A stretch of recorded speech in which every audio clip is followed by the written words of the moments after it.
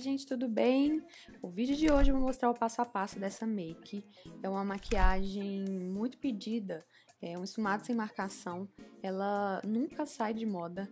Pode vir qualquer maquiagem nova que o esfumado sem marcação ainda vai ser a queridinha das clientes. Então vou mostrar um passo a passo para vocês desse olho. Continue assistindo o vídeo e roda a vinheta.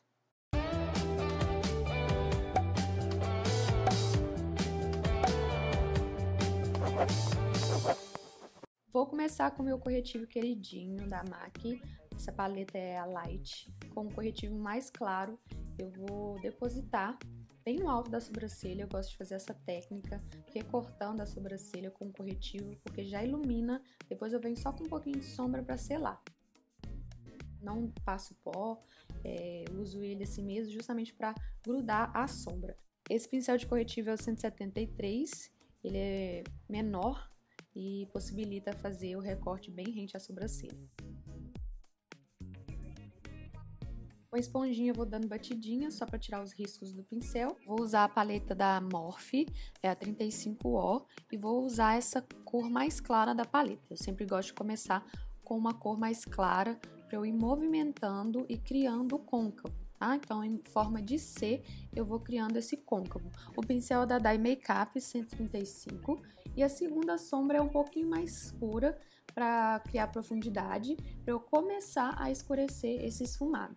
Então, com o pincel é, 136 da Dye Makeup, eu vou em C, continuo com o esfumado em C, e agora eu vou usar uma sombra da Contém o Grama, que é a Marilyn Opaco. Eu amo essa sombra em tons de vinho, para dar uma esfumada e quando eu for colocar o preto, eu não preciso esfumar tanto, né?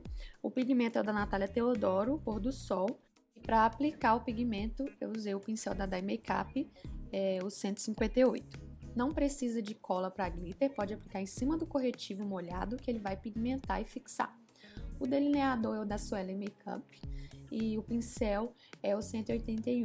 Eu gosto desse pincel fininho para fazer esse delineado. Então eu começo, é, não precisa preocupar com o cantinho interno ainda. Vamos fazer a, a parte externa para esfumar, para ele não secar, porque eu preciso esfumar o delineado molhado ainda para ele ficar pretinho. Reparem que eu volto com a sombra preta para pigmentar e conseguir cor. É assim eu não preciso ficar colocando tanta sombra preta, que eu vou esfumar com o próprio delineado. Então eu vou aplicando, esfumando, volto com o pincel que eu usei a sombra mais vinho e vou esfumar o preto com a sombra vinho. Eu nunca esfumo preto com preto, então eu sempre volto com o vinho justamente para eu conseguir esfumar bem. É, usei um pigmentozinho, pode ser o mesmo pigmento da Natália Teodoro, mais douradinho, para iluminar o ponto alto da sobrancelha. E agora sim eu vou finalizar o cantinho interno. Né? Eu volto com o delineador para finalizar o canto interno.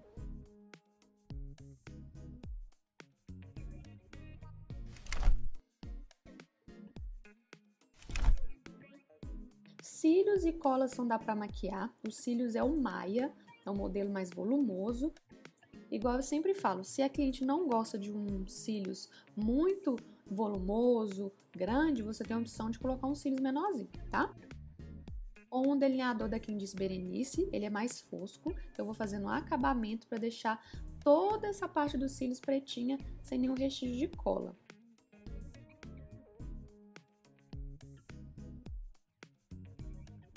O lápis preto é o da Natura, é um lápis muito bom, é, eu gostei muito dele.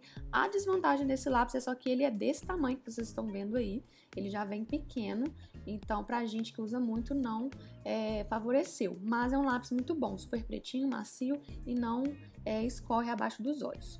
É, eu gosto de esfumar, eu usei a sombra vinho para esfumar com o pincel caneta é, O 130 para fazer esse esfumado, então eu deixo um pouquinho mais grossinho que ajuda até a disfarçar as linhas de expressão.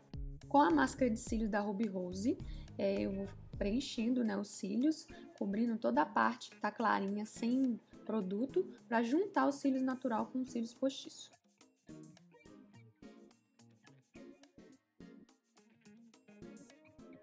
Abaixo também eu passo, eu gosto dele bem estilo bonequinha.